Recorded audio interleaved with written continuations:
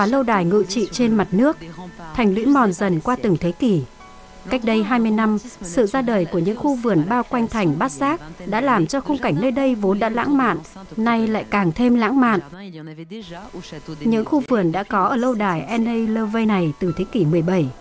Vào thế kỷ 19, những chủ nhân của pháo đài Berry đã thiết kế khu vườn theo phong cách những công viên ở Anh.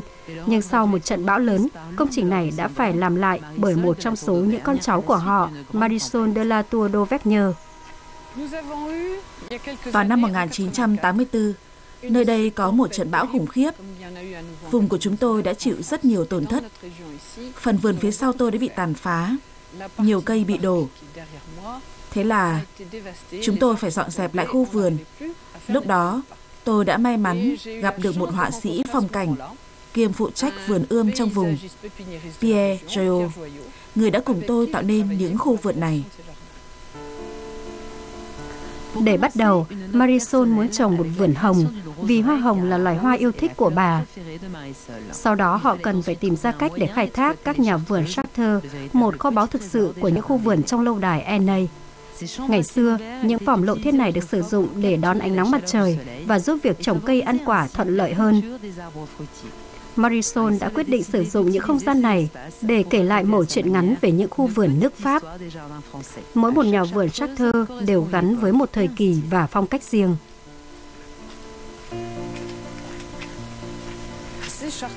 Các nhà vườn này đều được lấy cảm hứng từ vườn rau của nhà vua, chính xác là của La Cantini.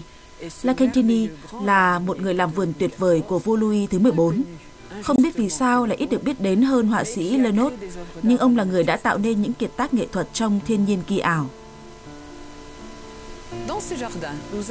Vì thế mà khu vườn này có rất nhiều hình dáng, hầu hết đều được tạo ra bởi La Cantini. Trông chúng có phần cổ kính hơn, có một số hình dáng hoàn toàn do chúng tôi tạo nên. Hình dáng mà tôi rất thích, các bạn có thể thấy trên bức tường kia, đó là một dáng cây theo hình rẻ quạt mà lần đầu tiên tôi nhìn thấy là ở nước Anh. Trông thật tuyệt vời và tôi chưa từng thấy kiểu hình này ở Pháp, mặc dù đây là một dáng cây của Pháp thế kỷ thứ 18. Đây là hình một cái quạt xòe rộng trên tường, làm dàn cho các cành táo leo lên.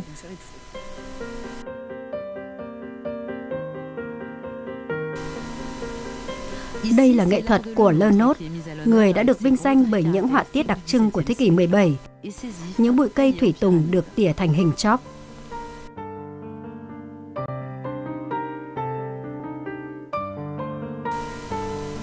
Chúng ta đang ở trong khu vườn của sự chiêm niệm. Đây là một khu vườn được lấy cảm hứng từ những khu vườn thời Trung Cổ. Vì thế chúng tôi đã tạo ra hàng rào bằng mây đan lại với nhau. Có một ngôi nhà nhỏ tọa lạc phía sâu trong hàng rào. Ngôi nhà bằng thủy tùng mọc lên từ hơn chục năm nay mà vẫn chưa mọc hết. Đó là nơi chúng tôi thường vào để tĩnh tâm và là nơi con cháu chúng tôi sẽ chơi đùa bởi chúng thích căn nhà nhỏ này. Phía bên kia hàng rào có một bồn nước dưới bóng dâm. Chúng cũng rất thích chơi ở đó.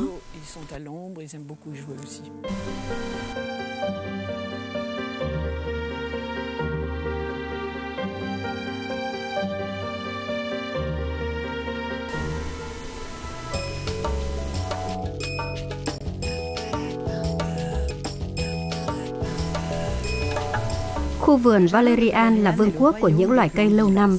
Trái với những loài cây một năm, chúng nở hoa năm này qua năm khác mà không cần trồng lại. Tất cả các kích thước và màu sắc đều hội tụ trong khu vườn này, nơi có những bồn hoa rộng và những luống hoa kết hợp, khiến chúng ta nghĩ ngay tới ảnh hưởng lớn từ nước Anh. Michel Tisse là người làm vườn chuyên nghiệp. Vợ anh Marily không bao giờ động vào cây cối khi họ bắt tay vào làm vườn. Tuy nhiên, cô đã khám phá ra niềm đam mê với những loài cây lâu năm, đến mức mà khu vườn của họ giờ đã rộng hơn 4.000 mét vuông. Chúng tôi gọi khu vườn này là vườn Valerian. Chỉ đơn giản là vì chúng tôi bắt đầu trồng vườn bằng loại cây Valerian hay cây nữ lang, giống cây lâu năm đầu tiên. Năm sau đó chúng tôi đã có rất nhiều loại cây này trong khu vườn.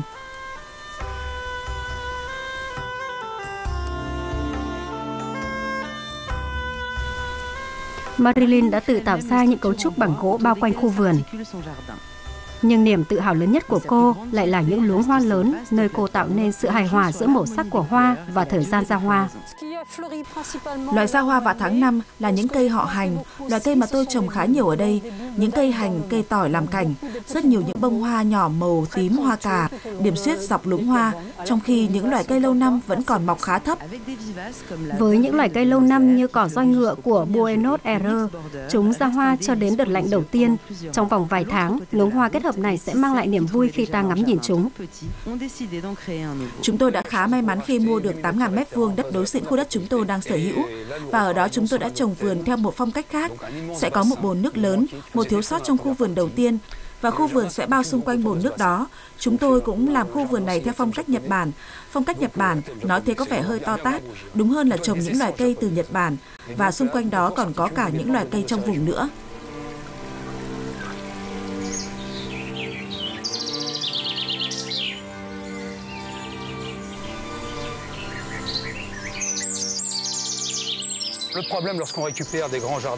Vấn đề xảy ra khi chúng tôi phục hồi lại đất ở những khu vườn lớn, đó là phải chi một khoản khổng lồ. Chúng tôi nghĩ tới một giải pháp đó là dùng những loài cây thân thảo phủ lên. Đây là rơm lanh, nó là rơm của cây lanh được người ta thu lại sau mỗi mùa trồng cây lanh. Chúng tôi sử dụng một số lượng lớn rơm cây lanh. Thường thì lớp này dày khoảng 10 cm, trong điều kiện tốt nhất, nó sẽ giữ độ ẩm. Và bên cạnh đây là loài Leptidella. Đây là loài cây chúng tôi được tặng. Một ít cây này mà sau 3 năm đã bao phủ toàn bộ bề mặt ở đây. Ưu điểm của chúng trước hết là chúng dày đến nỗi ít có loài cây nào mọc xuyên qua được.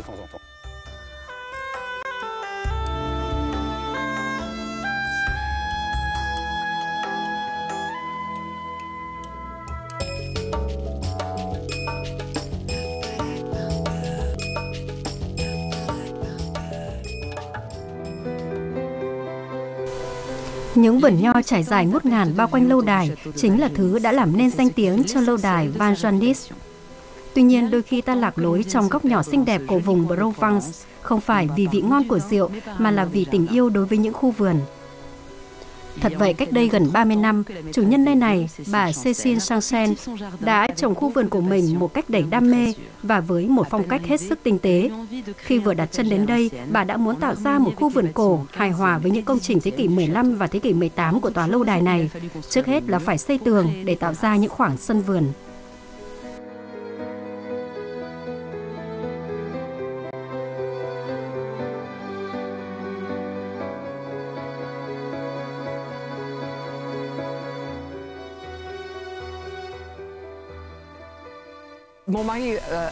Chồng tôi cần đất để trồng nho, có rất nhiều đất để trồng trọt và chúng tôi đã khám phá ra một bồn nước khổng lồ theo lối kiến trúc La Mã cổ đại bên dưới những bụi rậm lớn, một cái ao tế tiêu. Chúng tôi đã dùng lại đá của bồn nước đó, chúng tôi đổi thành một đống và trong vòng 2 năm tôi đã dựng được những bức tường đá này.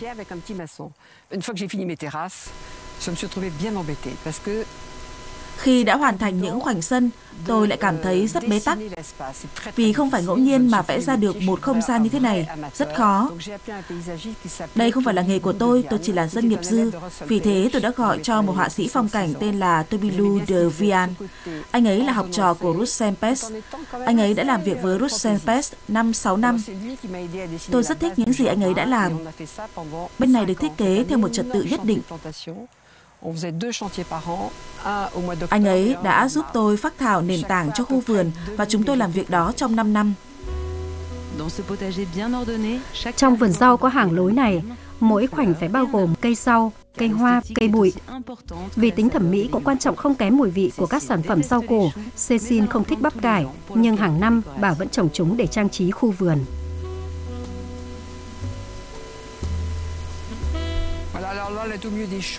Ở đây chúng ta đang ở giữa những cây bắp cải Italia. Tôi gọi chúng là vua nước Italia. Mặc dù đó không phải là tên của loài cây này, bởi trông chúng như một chùm lông gài lên đầu ai đó. Đây là những hạt giống tôi mang về từ Italia. Vì thế ở Italia chất lượng của chúng rất tốt và làm salad cũng rất ngon. Vì thế tôi hay mua loại rau này ở nước ngoài. Tôi đi du lịch rất nhiều. Mọi nơi tôi đi, tôi đều thử mua các loại hạt giống. Có những nước mua rất dễ như Mỹ và tôi thường đến Ấn Độ. Và mùa đông năm nay, tôi đã ở Ấn Độ một tháng. Tôi muốn mua những cây cà tím nhỏ có những vệt hồng và trắng như những dấu phẩy. Không ai hiểu tôi muốn mua cái gì. Ngay cả những người phiên dịch, họ cũng không hiểu nên tôi đã không mua được. Tôi cũng đến Argentina và mang về những cây bí rất đẹp.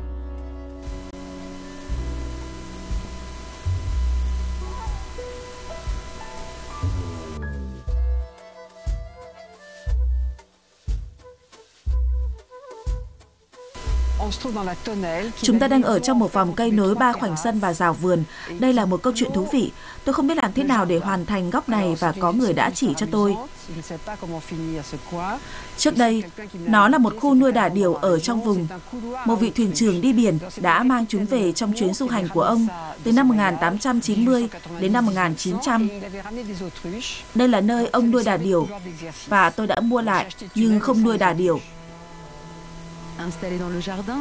Nằm trong khu vườn, hành lang này cho phép ta di chuyển từ khoảnh vườn này sang khoảnh vườn khác để đến vườn cây ăn quả, nơi ta có thể thấy những loài cây lạ thường. Đây tôi giới thiệu với các bạn loài cây Maglura, loài cây yêu thích của tôi. Nó ít được biết đến trong vùng. Nói đúng ra là không ai biết đến. Maglura là họ hàng của loài Pomifera, tên thường gọi ở Pháp là Cam Ocha. Oja là vùng của những thổ dân Bắc Mỹ. Họ dùng loài cây này như một loại thuốc nhuộm, màu lục nhạt, không thể gọi chính xác tên ra được. Tôi dùng chúng để trang trí ngôi nhà vào mùa đông. Khoảng gần lễ phục sinh, tôi để chúng trong những cái ly. Tuy chúng khiến cho ngôi nhà không ấm áp lắm, nhưng lại rất đẹp. Tôi thấy thế. Trong khu vườn của Cecil có rất nhiều mùi vị khác nhau, khiến cho cả năm giác quan của chúng ta ngây ngất.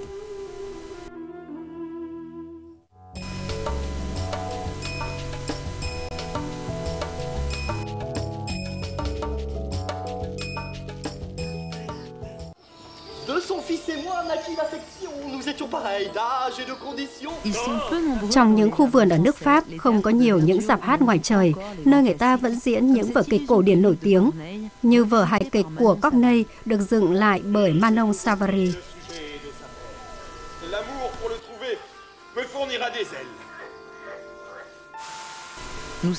Chúng ta đang ở trong lâu đài Sam de Bataille, vùng Normandy. Lâu đài được xây dựng vào thế kỷ 17. Những khu vườn có thể cũng được xây cùng thời kỳ đó. Với quang cảnh rộng mở, đài phun nước, bồn nước, dường như nơi đây được thiết kế cho vua Louis XIV. Nhưng những khu vườn này đều là tác phẩm của một người tên là Jacques Garcia, một nhà thiết kế nổi tiếng, người đã phác họa khung cảnh xung quanh trong những năm 90 của thế kỷ 20. Khi tôi mua lâu đài Somme de Bataille vào năm 1992, tôi không nghĩ đến việc tạo nên một khu vườn lớn. Đó là việc mà tôi nghĩ tới sau khi mua được lâu đài. Tôi từng là một người thích sưu tập. Tôi sưu tập đồ nội thất từ những tòa nhà của Hoàng gia, từ những cuộc mua bán trong thời kỳ cách mạng Pháp. Và tôi muốn tìm một nơi hợp lý để bày những đồ cổ này. Chúng vốn được làm để trang trí nội thất của các lâu đài. Dĩ nhiên, tòa nhà hoàn toàn hợp với những đồ nội thất này, vì tòa nhà này còn hơn cả một lâu đài, Công trình được xây dựng như một cung điện. Thực ra, cung điện này là nơi để lưu đày một người bị Hồng Y giáo chủ Mazaranh kết tội chết. Và tôi đã sửa lại bản vẽ thể hiện một phần của khu vườn được vẽ bởi họa sĩ Lenot hoặc những người cùng thời với họa sĩ Lenot vì chúng được vẽ vào năm 1653. Vì thế, lâu đài này cùng thời với lâu đài Volovitom và đó chính là điểm khởi đầu cho tôi. Không quá xa đà vào việc tái hiện lịch sử, Jacques Garcia đã miệt mài đọc về nghệ thuật làm vườn kiểu Pháp, rất riêng và cũng rất đương đại. Cảm hứng cổ điển tràn ngập nơi đây như trong khu vườn của Diana và Apollon ở bên trái khuôn viên rộng lớn này. Chúng ta đang ở trong vườn cảnh Diana và Apollon, được thiết kế lại trên một bản vẽ cũ, rất có thể được vẽ bởi họa sĩ Lenot. Nhưng chúng tôi cũng không chắc về điều đó. Như các bạn có thể thấy, những hình lưỡi liềm nhỏ, giống hình trăng lưỡi liềm một cách kỳ lạ, đại diện cho nữ thần mặt trăng Diana. Ở bên phải của các bạn có những hình vuông vắn đại diện cho thần mặt trời Apollon. Và nếu nhìn kỹ, các bạn sẽ thấy những cây nguyệt quế bồ đào nha được tỉa gợn sóng. Và tôi chỉ đơn giản là tạo những gợn sóng bằng các bụi cây để tượng trưng cho biển cả.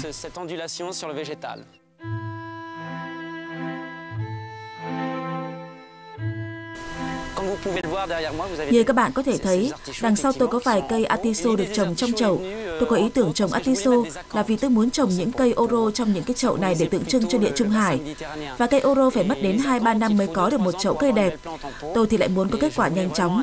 Atiso là loại cây mọc rất nhanh, cũng có thể mang tính tượng trưng vì thời xưa người ta cũng trồng loại cây này.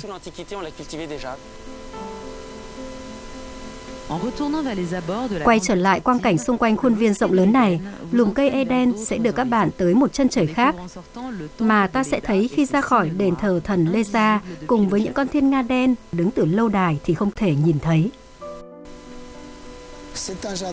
Đây là một khu vườn đầy bất ngờ, ẩn chứa một nền tảng mà nếu bạn không tìm cách khám phá, bạn sẽ chẳng thấy gì. Bởi tất cả mọi thứ đều được ẩn giấu kỹ càng, tất cả đều là bí mật. Đó là nguyên tắc của những khu vườn lấy cảm hứng từ những khu vườn thời phục hưng. Bỗng dưng, trên sân khấu nhà hát tấm màn được vén lên, giữa hồi 1 và hồi 3 chẳng có gì liên quan đến nhau.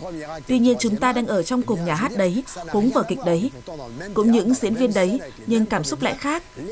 Và cuối cùng, khu vườn này được xây dựng như một nhà hát sẽ dần dần biểu diễn cho các bạn xem từng hồi kịch khác nhau.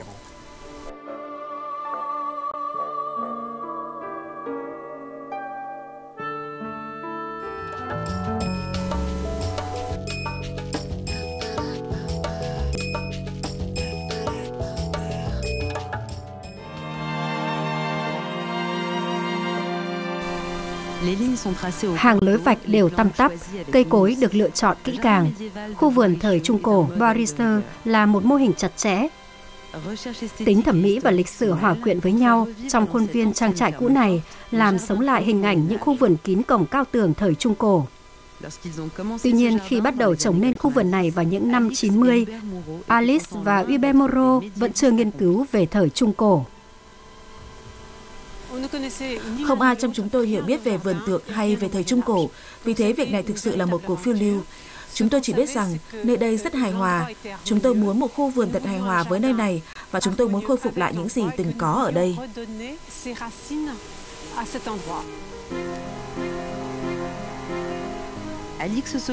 Alice đắm mình trong những tài liệu về lịch sử.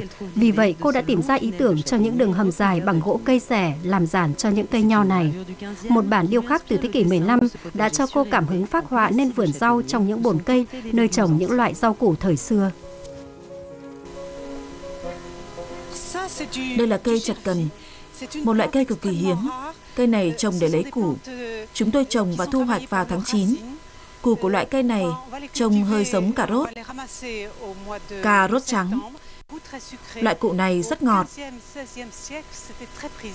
Chúng rất được ưa chuộng vào thế kỷ thứ 15, 16.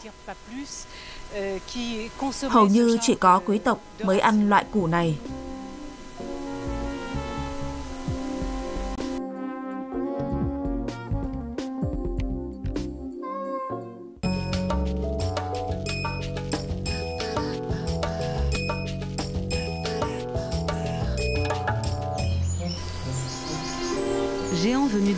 Loài cây to lớn này đến từ quần đảo Madè.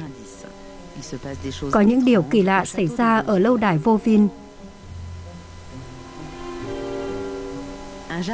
Một người làm vườn hay mơ mộng đã tạo nên cơ ngơi này. Những cây sồi và cây rẻ đã nhường chỗ cho một loài thực vật um tùm, ít thấy ở vùng Normandy. Rừng nhiệt đới này ra đời vào những năm 50, chỉ cần nhìn những hình chạm trổ đầu sư tử thôi cũng đã khiến chúng ta đoán ra nơi đây đều được làm nên bởi bàn tay con người. Sau chuyến du lịch vòng quanh thế giới, cha mẹ của William Pellerin đã quyết định tạo nên một khu vườn du lịch trên vùng đất họ sở hữu ở Vovin. Khí hậu tương đối ôn hòa, thậm chí ấm áp nhờ dòng hải lưu Gulfstream đã cho phép họ thực hiện ước mơ trên bờ biển lộng gió này.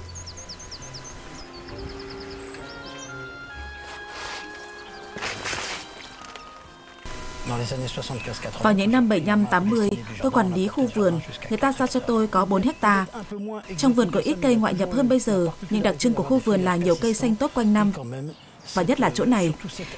Tôi thích tạo ra một nơi với những loài cây độc đáo hơn, vì tôi nghĩ chúng tôi là kẻ hay mơ mộng. Những người đã đi du lịch khắp nơi, những người trồng vườn phải là những người mơ mộng và thích đi du lịch. Điều đó sẽ giúp mở mang đầu óc. Và hành trình bắt đầu. Quanh chuồng chim bồ câu cũ, những cây dương xỉ như đang dẫn vị khách thăm khu vườn huyền ảo này vào một thế giới khác. Những loài cây yếu ớt hơn thường mọc ở những nơi ấm áp nhất trong công viên.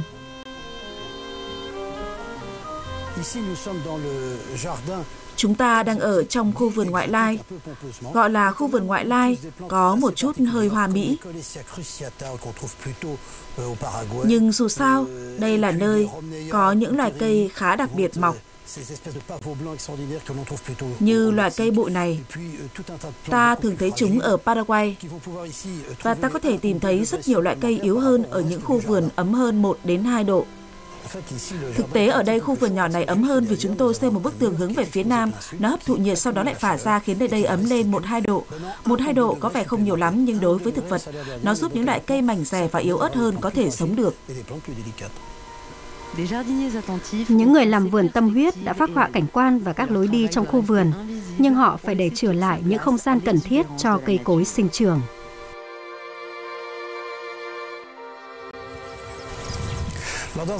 Trong một khu vườn, những gì ta phải lưu ý đó là những khái niệm về luật phối cảnh và cả những không gian để hít thở, nơi ta cảm nhận được độ rộng của phong cảnh. Vì thế, đây là nơi tôi tự cấm bản thân trồng cây, cũng là nơi ta có thể trông thấy biển gần nhất.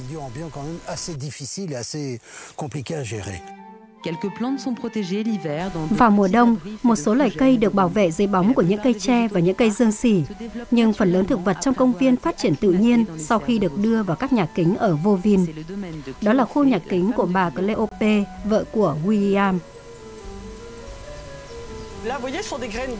Như các bạn thấy, đây là hạt giống của cây cọ mà chúng tôi trồng thành những cụm lớn.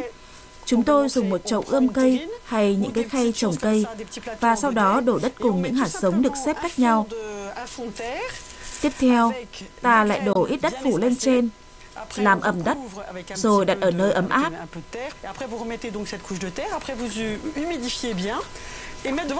Ta sẽ để chúng trong nhà kính này gần một năm và khi chúng phát triển tốt, ta có thể chuyển vào chậu lớn hơn.